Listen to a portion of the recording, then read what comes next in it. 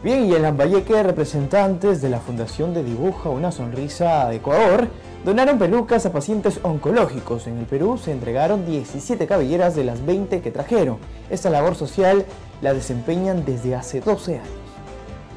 Recorren los diferentes países del mundo para regalar una sonrisa.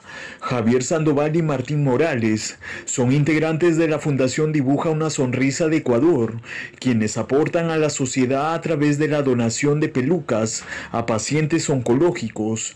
La propia fundación es la que diseña.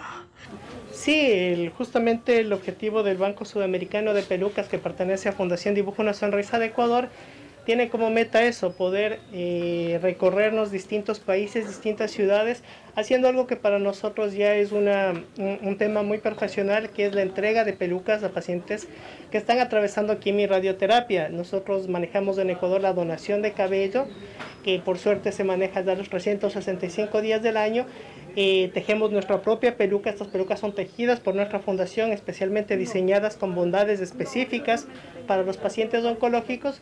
Es así que uno de los destinos fue el país de Perú, entregando 17 cabelleras de las 20 que trajeron. Y, y, creo que la solidaridad no tiene fronteras y por eso estamos recorriendo los distintos países. Para nosotros es muy bonito que Perú se haya, haya sido la primera sede de esta actividad. Hemos venido en moto recorriendo más de 2.000 kilómetros. Hoy nos vamos a, a, nuestro país con el corazón más grande porque llevamos nuevos amigos de Perú y sobre todo por las preciosas sonrisas que hemos podido dibujar en Lima, en Trujillo y en Chiclayo. Según cuentan, esta labor social la desempeñan desde hace 12 años. Surge la iniciativa con la historia de la abuelita de Javier, quien falleció de cáncer. Desde ahí nació este gran proyecto. Sin duda cualquier ayuda es de suma importancia para estas personas.